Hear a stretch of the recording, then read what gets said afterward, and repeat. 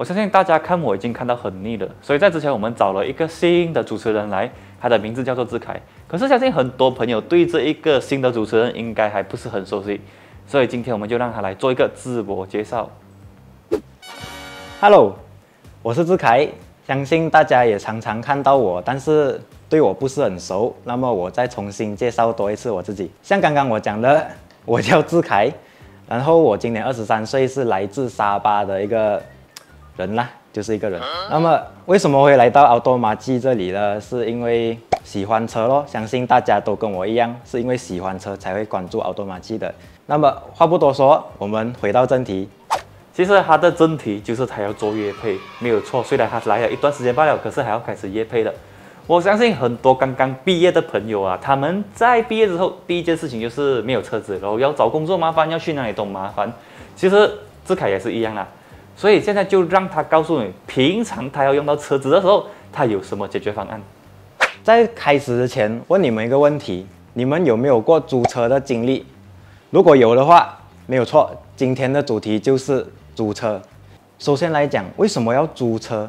会租车通常不是因为当下没有车，或者是你刚到另一个城市要需要车辆代步之类的。而以前能选择的租车方式，其实是只有传统的租车公司。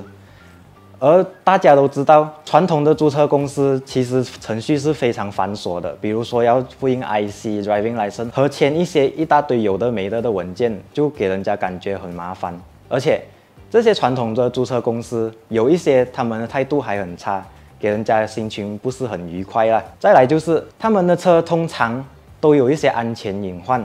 比如说，你可能你走到一半，那个车辆会自己停下，或者是一些小毛病出现，你不知道怎么办。再来最严重的就是，你刚拿车的时候，那个车是好的，可是你还车的时候，那个人跟你讲，你的车有问题，他想要讹你钱，没有错，就是要敲诈。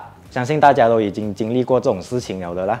我本身也是有经历过这种事情。那我来讲，我刚到吉隆坡的时候。我需要一辆车去找 office 啊，或者是找住的地方。可是我不想要再经历以前那种糟糕的经历了，那种以前传统租车的糟糕经历。其实现在网上有很多种租车平台可以选择了的，可是就有一个比较吸引到我，那就是 Go Car。听我一个一个讲。首先，Go Car 的分布地在全马超过三百个位置，其中包括 KL、Penang 和 Selangor。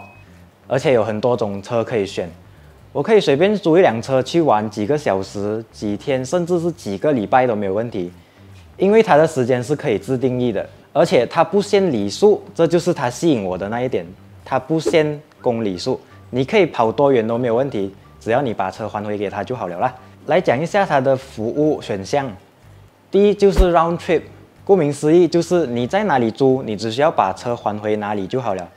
只需要提前预约你的车辆，然后到时间你去拿你的车，驾出去玩你的东西，或者是去哪里都好。到时间了，你就还回那辆车到你在哪里拿的地方就好了。再来就是 free floating，这个也是比较吸引我的一个地方。它就是，假如你在斯兰沃的话，你租车把车开走，开到你想要开的地方，你要还车的时候，你只需要把车还到 Go Car 在斯兰沃的随便一个 parking spot。这对于很多人来讲还是比较方便的。Round trip 的价格是十二块九一个小时起跳，比你叫电召车还便宜。如果拿尼桑奥梅拉来讲的话，一个小时只需要十四块九，而且如果你租三天或以上的话，你省的租车费用还会更多。Free floating 的价格更加划算。我们拿回尼桑奥梅拉来讲。它最低每分钟只需要零点十七线起。假如你租一天的话，它的价格相对来讲会更加划算，尤其是它的无限里程，我可以驾非常远，而且是不用收钱的。对我来讲，这个是最吸引我的点。更棒的来了，Go Car 的服务是开放给 P 牌的用户的，没有错。如果你刚拿到驾照，你还是 P 牌的话，你也是可以一样使用 Go Car 的服务，不像一些租车公司只开放给正式驾照的驾驶者去使用他们的服务。这点 Go Car 对 P 牌的用户还是比较友善的。最后，我帮你总结一下 Go Car 吸引人的点：第一，就是它的无限里程，你可以驾多远都没有问题，只要你把车还回去就好了。然后就是它的 Free Floating，你不需要把你的车停回你原本拿车的地方，这对于很多人来讲是非常方便的。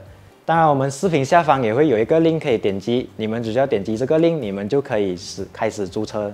如果你是新用户的话，不要忘记使用这个 promo code，可以帮你省下五十 percent 的 discount。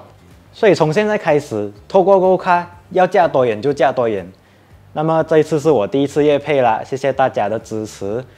所以希望大家以后也会多多支持我做夜配啦，拜拜。